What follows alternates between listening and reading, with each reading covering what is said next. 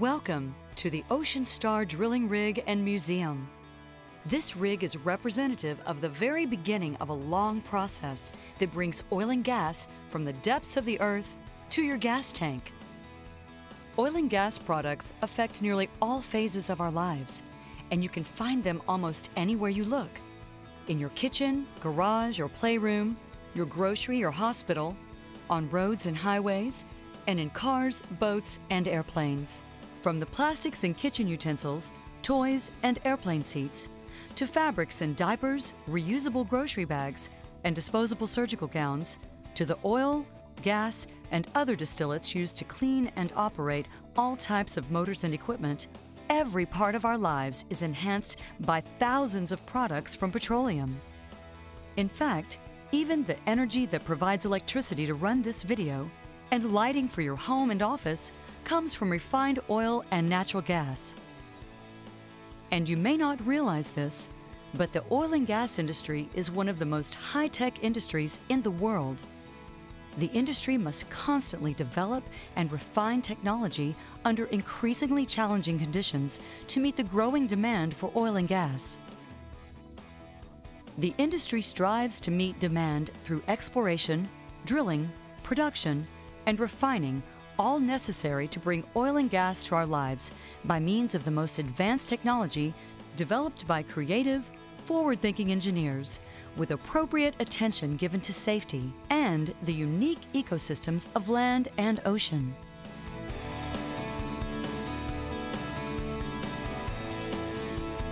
Deep below the Earth's surface and the ocean floor, Earth's natural heat and pressure convert organic sediment from ancient animals and plants buried there into hydrocarbons, droplets of oil or molecules of gas.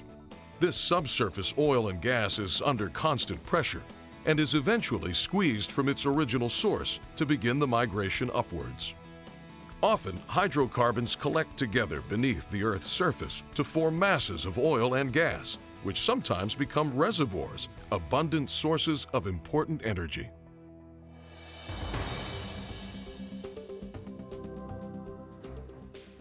Offshore drilling began in the 1930s using rickety wooden pilings in shallow waters near Venezuela and in the Caspian Sea. Rig design and technology has increased by leaps and bounds since then as the offshore industry has grown. Few important milestones include 1947, when Kerr-McGee drilled the first offshore well that could not be seen from the shore. It was located about 10 miles from the Louisiana coast in 18 feet of water. In the mid 1950s, future President George H.W. Bush's company, Zapata Offshore, and engineer R.G. Letourneau developed Scorpion, an early mobile offshore platform known as a jackup rig that was capable of drilling at one site in water up to 80 feet deep, then moving to another site. The Scorpion rig was christened in Galveston in 1956. Because of long legs that extend to the sea floor, then raise the drill rig above the water, much like a jack raises a car, these rigs are called jackups. The Ocean Star is an example of an early jackup rig. 1962 was a real turning point in the offshore oil industry when Shell's Blue Water One rig made history as the first floating drilling platform. A Wall Street Journal article at the time reported that with this type of rig, called a semi-submersible or semi, oil men can now find and produce petroleum from the open sea, regardless of depth. These rigs could be floated to a site and secured to the sea floor with anchors and mooring lines for drilling in water to 1,000 feet deep. By the 1990s, technology had advanced to enable these floating rigs to work in water depths to 5,000 feet, with mooring lines stretched a mile or more in multiple directions for stability. Today, drill ships and semi-submersibles drill at water depths of more than 10,000 feet. These rigs are held in place by dynamic positioning, which employs powerful thrusters to keep the vessel in a precise location without anchoring. Just imagine, from depths where a diver could take a quick look at the bottom with one breath, drilling has now advanced to depths so pressurized, cold, and extraordinary that it takes engineers and scientists months to plan and millions of dollars worth of sophisticated equipment to execute.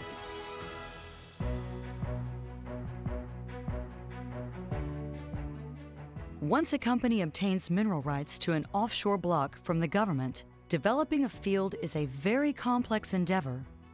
First, it must determine very specifically the best place to drill.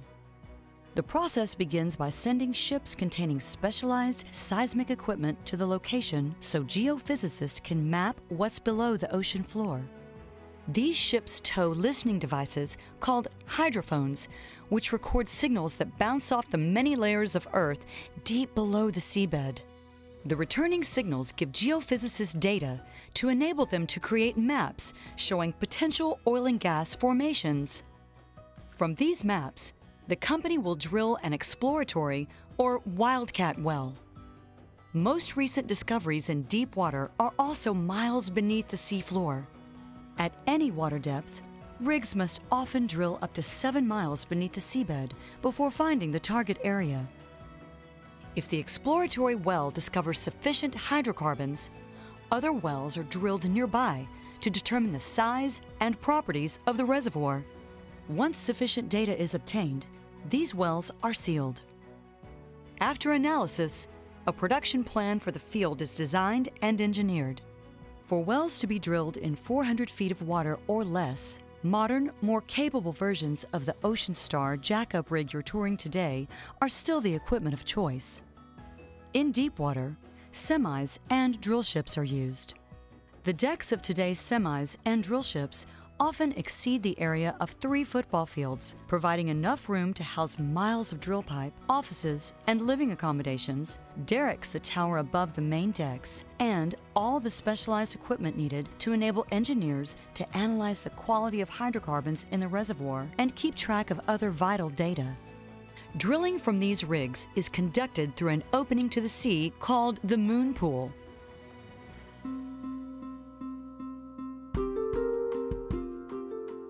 After analysis of the reservoir, a production plan for the field is designed and engineered.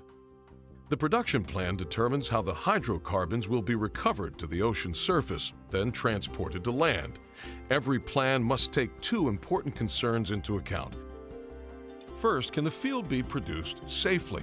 And second, have we given careful consideration to the environmental impact this development may have? For any type of platform, engineers work with geologists, marine scientists, and climatologists to determine the extremes for the region, then design facilities based on the most challenging scenarios. In waters to about 1,300 feet deep, fixed production platforms can be built. A support structure called a jacket is fabricated onshore, then towed offshore to be placed on piles driven deep into the seabed. Topsides are installed consisting of accommodations and equipment that helps pump hydrocarbons to the platform and prepares the production for export, often through pipelines connected to shore. In some extreme environments, gravity-based systems, or GBS, have been installed. These huge concrete high-tech mobile cities are built onshore, then towed offshore and ballasted to precise positions on the sea floor. They are well suited for areas exposed to seasonal ice. GBS structures operating in frigid northern climates often have iceberg shields capable of withstanding impact with a 600 million ton iceberg. In deeper water, a variety of production platforms are available. A tension leg platform, or TLP, is a structure with massive topsides on floating columns tethered to the seabed. Another type of deep water platform is a spar. The base of a spar is a huge cylindrical column, often more than half a football field in diameter and 70 stories tall, most of which is submerged to reduce motion from extreme waves. The spar is connected to the seafloor by chain and wire or synthetic rope connected to numerous mammoth piles sunk a hundred feet or more into the seabed and a mile or more distant. Yet another deepwater platform is a floating production, storage, and offloading vessel, or FPSO. These colossal vessels are fabricated at giant shipyards around the world. Many have no capacity to sail themselves and are towed to the development site. Other FPSO models are converted supertankers with 360 degree turrets housing flow lines, called risers, connected to subsea wells, These vessels receive hydrocarbons from subsea wells flowing through specialized equipment on the sea floor, connected by risers to the platform. The hydrocarbons are prepared for export on the platform, where hundreds of thousands of barrels of oil can be stored before being offloaded to enormous seagoing tankers. Operators of these facilities often partner with their competitors to share the substantial cost of development, which can sometimes exceed a billion dollars to complete, most of which is spent before a single drop of oil or molecule of gas is produced. To maximize economics, multiple wells can flow back to one platform. Frequently, a production facility includes a drilling rig on the structure, allowing additional wells to be drilled during the life of the reservoir and making the development economical. Drilling technology has advanced to the point where drilling can be steered directionally, not just straight down, but also horizontally and at angles and at great distances. This means that drilling from a single platform can be targeted to multiple wells that are located in the best parts of the reservoir to capture the most hydrocarbons. From a subsea well, oil and gas flows through unique equipment on the seafloor to the surface. Subsea systems are engineered to withstand the crushing pressures at extreme depths and also the frigid temperatures that affect the hydrocarbon flow and equipment at those depths. The flow lines, called risers, that connect subsea wells to platforms also weigh thousands of tons, so they have to be brought to and held near the surface by an array of floating devices, subsea buoys, and other equipment strong enough to bear the weight.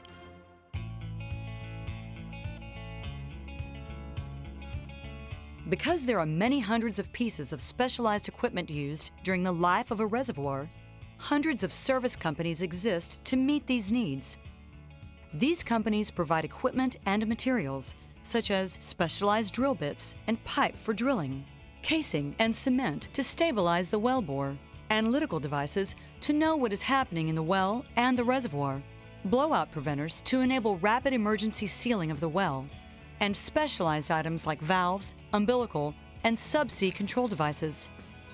Remotely operated vehicles, or ROVs, allow engineers to control work in water too deep for humans to survive. Fleets of special purpose vessels service offshore facilities and carry hydrocarbons to shore.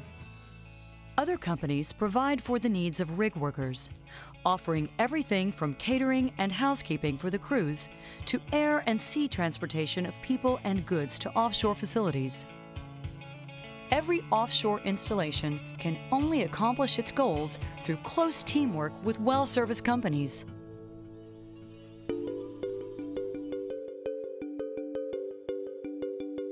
The men and women who accept the challenges of offshore drilling and production maintain a single minded focus on safety and the environment. Offshore safety has evolved into a science involving attitudes, behavior, extensive training, and expectations.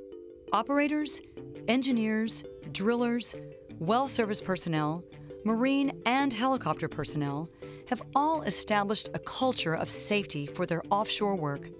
For people in the industry, the first priority is to succeed without harming their colleagues or the environment.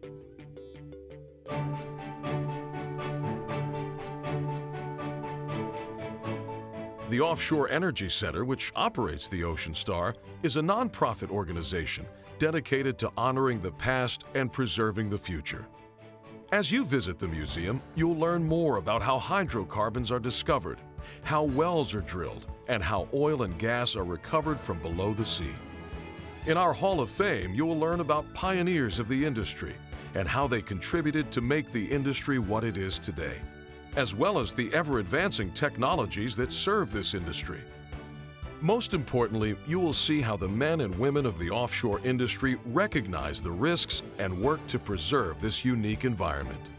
You'll get an idea of what it's like to live on a rig, and you'll begin to understand the determination and creativity of the dedicated, innovative explorers who used cutting-edge technology to understand and tame, just a little bit, the forces of nature far out to sea to benefit each and every one of us. Thank you for joining us today. We hope you enjoy your tour of the Ocean Star.